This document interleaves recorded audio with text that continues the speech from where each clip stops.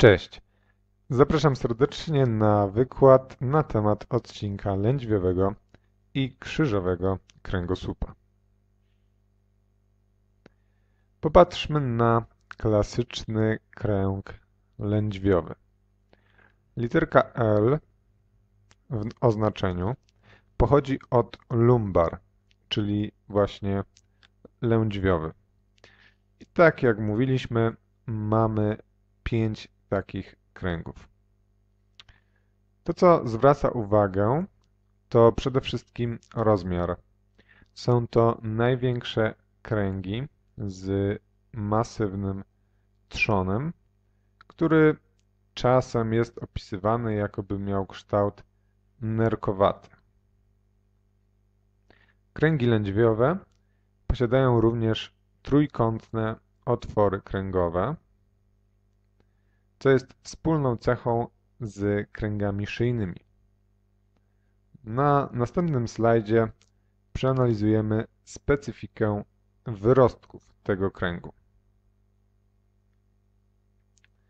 Na rycinie widzimy właśnie kręg lędźwiowy, tak jakby położony na przedniej powierzchni trzonu. Po bokach występują wyrostki żebrowe, czyli struktury, które zwykle były wyrostkami poprzecznymi, natomiast w tym przypadku wyrostki poprzeczne są szczątkowe i występują w postaci wyrostków dodatkowych. Są one widoczne przy podstawie wyrostków żebrowych. Z kolei wyrostki żebrowe to pozostałość po żebrach, gdyż Morfologia kręgosłupa w poszczególnych odcinkach zmienia się w sposób stopniowy.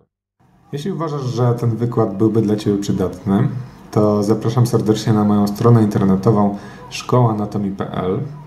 Znajdziesz tam nie tylko pełne wersje wideo wykładów, ale również bardzo obszerną bazę testów anatomicznych oraz wpisy z bloga, które zawierają informacje podane w troszkę inny sposób niż ma to miejsce w klasycznych podręcznikach.